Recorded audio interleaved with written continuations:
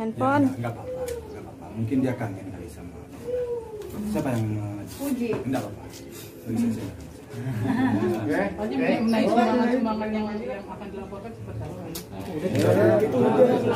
Oke oke. Oke, oke, oke. Ya, saya kan udah sejak. Memang itu udah udah sering saya. Ya, ya masa saya jawab lagi panjang juga jawabnya. Udah istirahat ya Pak Haji. Ah, sedikit saya terangkan ya. Masalah tadi apa? Masalah tadi disampaikan oleh pengacara saya yaitu persoalan apa? Somasi. Iya. Sebenarnya somasi itu kan saya nggak ngerti apa kesalahan. Tidak jelas dan tidak diterangkan kepada kami. Terus bagaimana meminta maaf? Ada kesalahan apa saya harus minta maaf? Hmm. Nah itu. Tapi kalau umpamanya sekarang datang surat kepada saya somasi, ini kesalahan-kesalahan. Jika tidak minta maaf, kami baca memang salah. Bagi saya sih tidak berat minta maaf itu. Kalau memang salah. Nah sekarang kan nggak jelas kesalahan bagaimana saya minta maaf. Itu persoalan. Kalau jelas masihnya, ini kesalahan satu, ini dua, ini tiga. Kalau umpamanya banyak kan itu kan, Bapak harus minta maaf. Kalau menurut saya memang salah, ya apa salahnya kita minta maaf. Ini nggak jelas, masih ini nggak jelas. Jadi makanya untuk sementara harus saya lihat dulu di mana letak kesalahan itu. Kita dikaji dulu, dipelajari dulu. Benar apa enggak?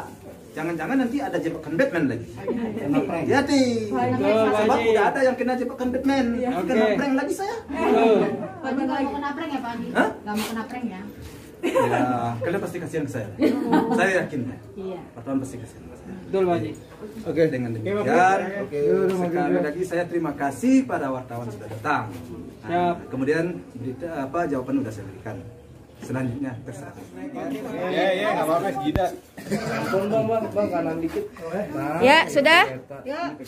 Oke Bang Sandi menekankan tadi Bang Sandi bilang mediator khusus ditunjuk Pak Aris Merdeka artinya nggak ada orang lain yang ikut campur dalam me- me- memediasikan Pak Faisal dan Iya, Pak Dodia. iya betul karena beliau juga sudah menyampaikan Yup. ke kita bahwa memang sudah percaya dengan Pak Aris ya Pak.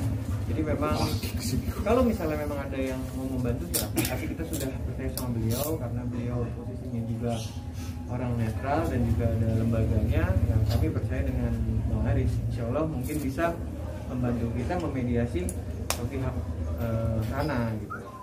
Bang, bagaimana kalau misalnya Pak Dodi sendiri menunjuk orang lain sebagai mediator? gitu? Ya silakan nggak apa-apa. Tapi kita tetap melibatkan lembaganya Bang Ari. Silakan Artinya eh, Komnas Perlindungan Anak tetap dilibatkan. betul.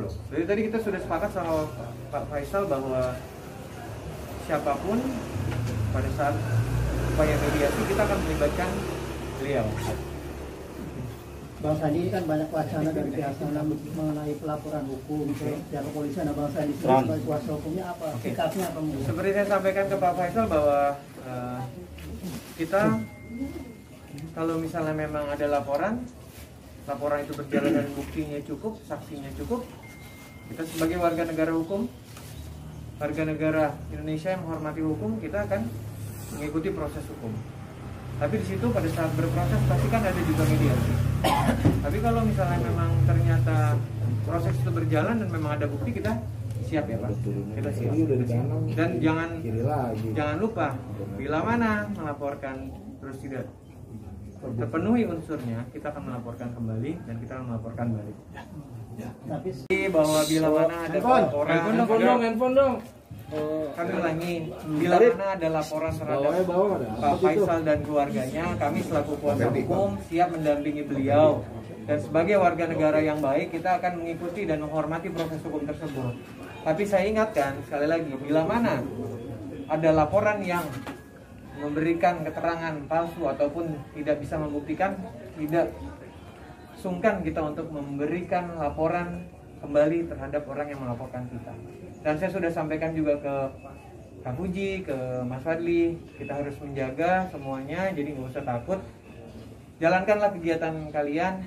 Yang penting eh, kita harus saling menjaga sikap dan perbuatan semua untuk ke depannya. Karena tadi juga sudah diingatkan sama Om Faisal, juga kepada keluarga dari Bang Aris dan rekan-rekan bahwa kalian harus menjaga eh, nama baik keluarga Om Faisal.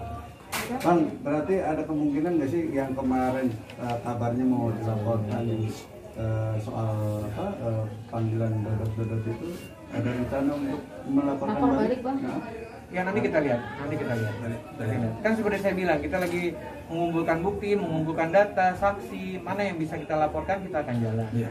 Tapi buat apa kita melaporkan? Kalau nanti laporannya ditolak. Iya.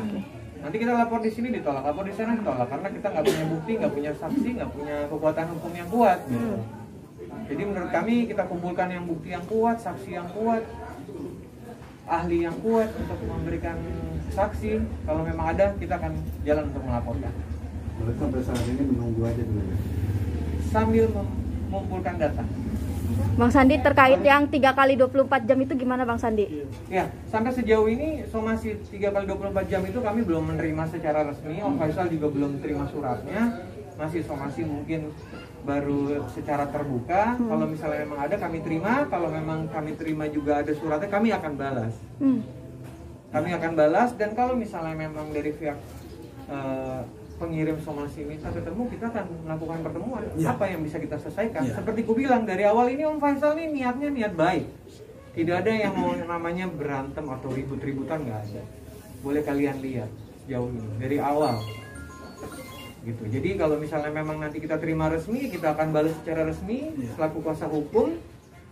Ya kita akan datangi kalau misalnya kita bisa bertemu, mungkin di situ kita bisa eh, terjadi mediasi di situ ya kita selesaikan. Tapi bila mana memang tidak ada pertemuan, tidak ada musyawarah mufakat mau melaporkan, kita sebagai warga negara yang baik, seperti gue bilang tadi, kita akan mengikuti proses hukum. Gitu, Ya, Pak ya, ya. Bang, agenda rencananya agenda selanjutnya apa bang? Kita masih menunggu hasil mediasi ini sampai tanggal yang ditentukan nanti untuk tanggal 12. 12. Insya Allah kita akan hadir apa pun putusan hasil dari selama dua minggu mediasi ini seperti apa akan kita sampaikan ke majelis hakim yang mengadili perkara tersebut. Oke. Okay.